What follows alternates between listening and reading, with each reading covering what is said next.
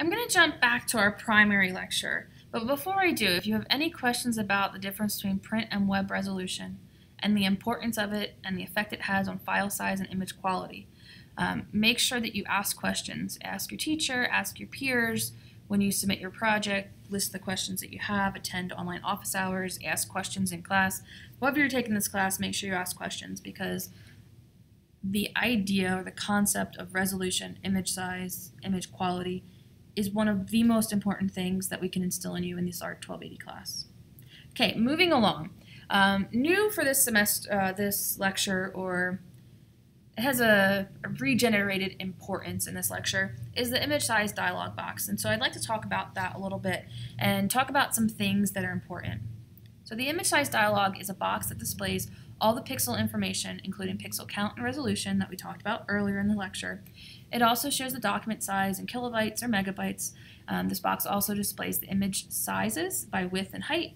The, the dimensions can be viewed in a variety of ways depending on your need or needs. Um, and the view options are by percent, pixels, inches, centimeters, millimeters, points, picas, and columns. And so that's a lot of information. And so we want to kind of streamline that and talk about what's important about those settings.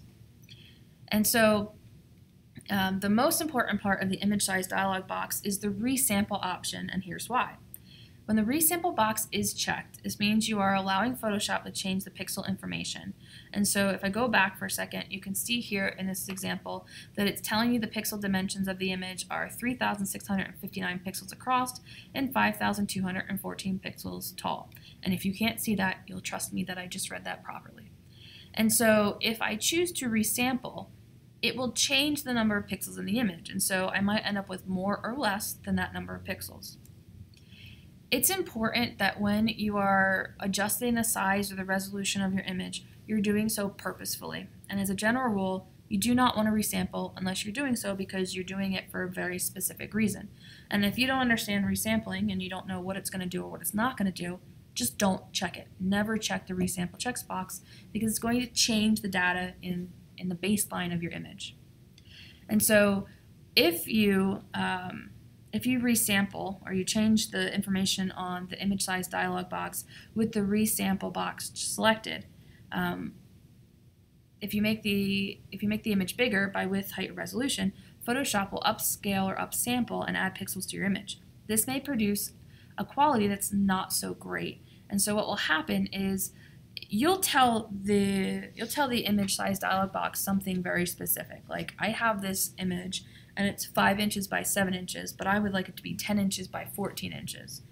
And if you resample and you say instead of being um, five inches wide, I want you to be 10 inches wide, Photoshop will say, well, that's cool. We'll make it 10 inches wide, and I'll make up all the pixels that you need in order for that pix that image to be 10 inches wide at your particular resolution. When it makes up those new pixels to make the, the image size meet your requirement. It's called upscaling, or I call it upsampling. This is my preferred term. And what it did was it just made up pixels. It was like, oh, you need pixels? We'll just make them up.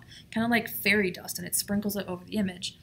You don't know if that, that upsampling, the resampling of the image by adding new pixels, is going to have good quality or not. And a lot of the times when you upsample, you're getting more pixels, so you can say, yes, I have the number of pixels that I need for my image but it has very low quality because the image is still pixelated and blurry because Photoshop didn't know if you needed an orange pixel or a light orange pixel or a dark orange pixel. It just tried to make them up for you and it may or may not have done a great job.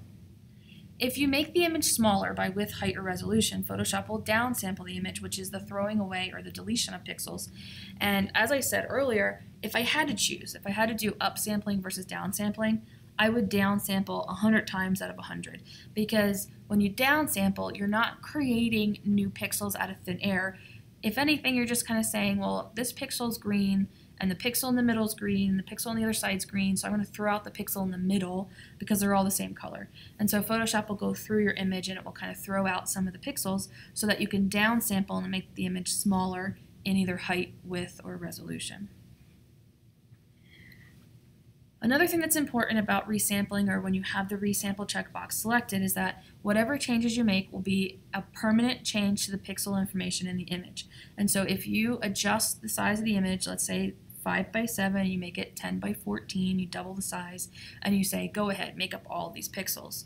You're making a permanent change to the image. As soon as you hit OK and you start editing again, there's no going back and saying, you know what, I didn't, I probably should not have done that. I probably should have gone back and said, this image cannot be used as 10 by 14 because it just doesn't have enough pixels. You can't go back and say, well, keep all those changes that I made and then make the image smaller again. You have to like delete the image you're working on, open it up the original again, and start working from scratch. So keep that in mind. What I would recommend, and what goes along with the last line on this slide, is that when the resample box is not checked, all the pixel information will be locked. It won't change.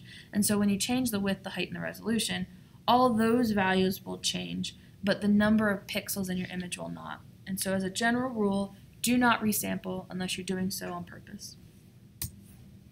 And so you can see in these slideshow in the in the screenshots here that on the left I've opened up this image of the puppy and it has 5,040 pixels across and it's 7,182 pixels tall, which is lots of pixels. It's a great size image to work in if you're trying to output or print a large picture.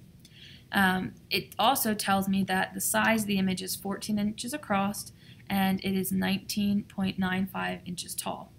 Now, if I was to change any of these values, the width, the height, or the resolution, and I have the resample checkbox selected, so now let's look at the second image, and I decide that I don't want the width of the image to be 14, I want it to be 3 inches across.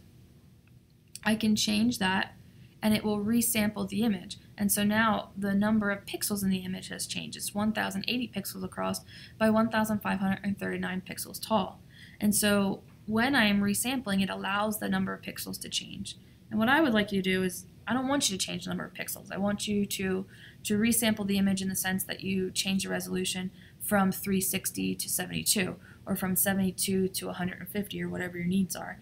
And use the, the image size dialog box to answer the question, well, what size could it be at my particular resolution? When you are resampling and you do not select the resample, look at the differences in all of these images. So the image has been resampled in the sense that the resolution has changed from 72 to 240 to 300 resolution. And width and height of the image in inches has changed. And so when I look at this image in 72 resolution, which would be display resolution, I could output it at 50.819 by 72.417 inches, which is ginormous, way more than I need. But notice that the number of pixels in the image, 3,659 by 5,214, it's set. They're the number of pixels that I have to work with.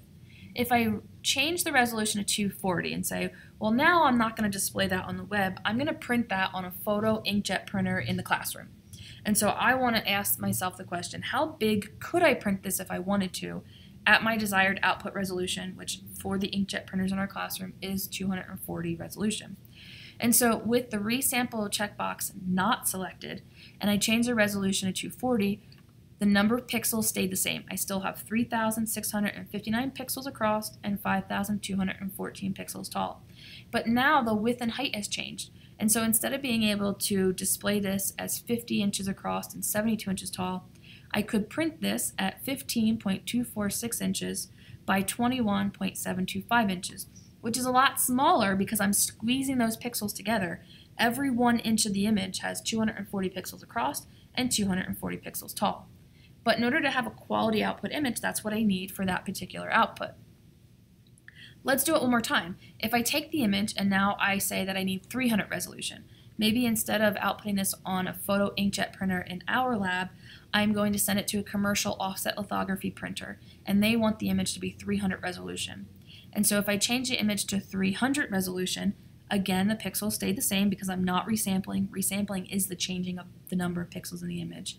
And so what it does is it redistributes the pixels. And for 300 resolution, every one inch of the image has 300 pixels across and 300 pixels tall.